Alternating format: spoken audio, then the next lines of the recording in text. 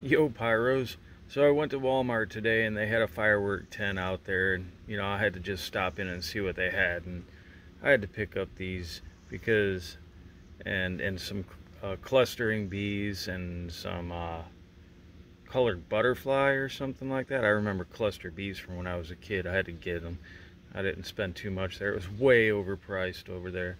But anyways, I had to get these. I was like, yeah, let's check these out. And you know what? I was surprised about. Okay. I was expecting this tube to be cardboard, but look. It's freaking fiberglass, y'all. How about that? That's pretty quality for something of that size, you know what I mean? What does it say on there? Oh, it doesn't have any effect on it. Shows that on the side. Huge breaks. I'm just kidding. Well, when it gets dark, let's see it. We're gonna check it out.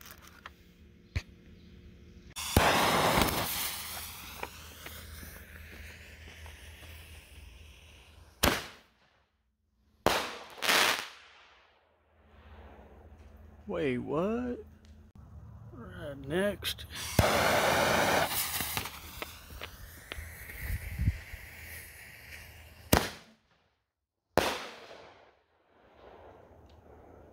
Damn.